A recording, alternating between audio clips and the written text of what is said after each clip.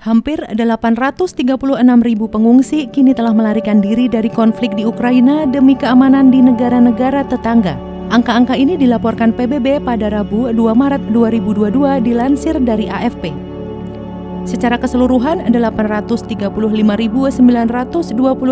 orang telah meninggalkan perbatasan negara, menurut situs web Badan Pengungsi PBB UNHCR. Ini jadi lompatan besar dari jumlah 677 ribu yang diumumkan pada Selasa 1 Maret sore oleh Kepala Badan tersebut, Filippo Grandi.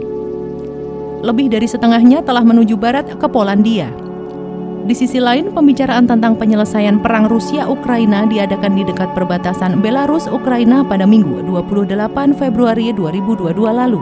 Tapi hal ini tidak menghasilkan terobosan, meskipun kedua belah pihak sepakat untuk bertemu lagi yang menurut pihak Rusia diagendakan pada Rabu 2 Maret 2022.